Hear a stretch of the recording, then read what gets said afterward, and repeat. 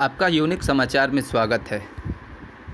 बिहार में पिछले 24 घंटे में चमकी बुखार के 75 नए केस सामने आए हैं। अब तक 110 बच्चों की मौत हो चुकी है। बिहार के मुजफ्फरपुर में बच्चों की मौत का आंकड़ा 110 तक पहुँच चुका है। पिछले 24 घंटे के अंदर मेडिकल कॉलेज में 75 नए मरीज़ भर्ती हुए हैं।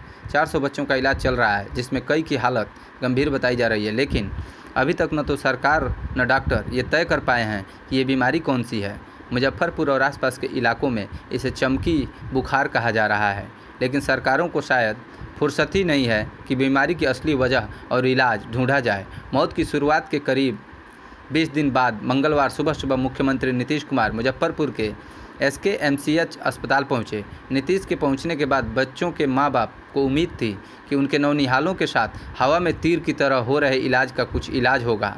दवाएँ मिलेंगी, अस्पताल की सेहत सुधरेगी। लेकिन सीएम साहब की पर्देदारी देखकर लोगों के सब्र का बाँध टूट गया। लोग नारे लगाते रहे और नीतीश अस्पताल प्रशासन की पीठ थपथपाकर आराम से निकल लिए।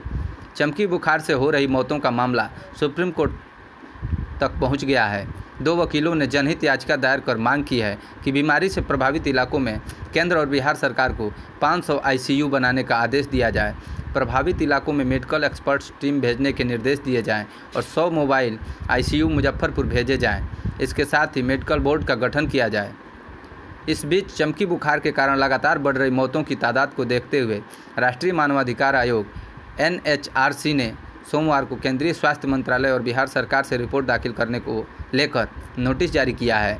ऐसी रिपोर्ट्स हैं कि मुजफ्फरपुर के अलावा राज्य के कुछ अन्य ज़िले भी इससे प्रभावित हुए हैं।